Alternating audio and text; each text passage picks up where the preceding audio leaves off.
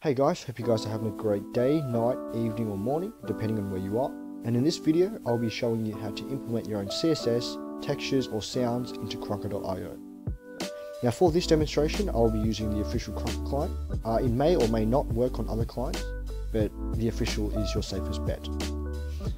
Uh, heading into game, this is basically what your, your default game will look like. The sounds are default, and everything else looks pretty plain and basic as you would get Krunker out of the box.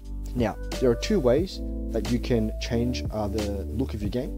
One would be implementing a mod over your game, or two, using the Krunker resource swapper, which is actually changing your default game.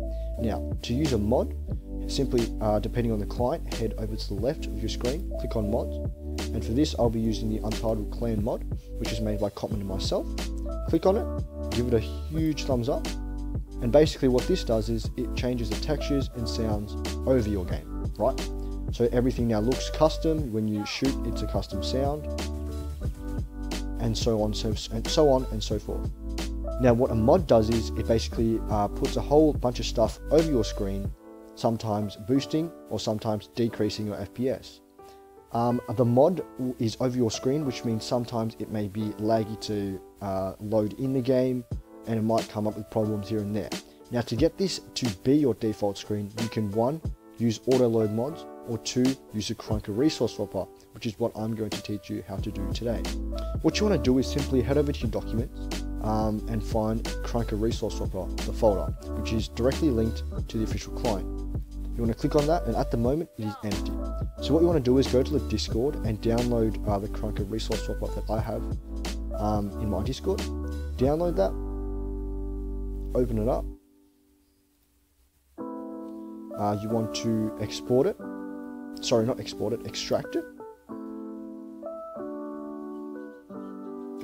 So you want to go to that extracted folder, copy everything inside, and paste it into the Krunker resource swapper folder located in your documents. So what this does is, this implements all the textures. You've got your own CSS, which is basically, it changes where things are positioned in your game. And you also have sounds, images, etc, etc. Now opening Krunker back up again, what this does is, it actually changes your default game to be something different. It's something customized. Alright, so opening Krunker back up now, you see this is the default game without a mod. If you guys have any further questions, uh, don't be afraid to comment below or just join the Discord in the description and message me there. Have a good day, guys.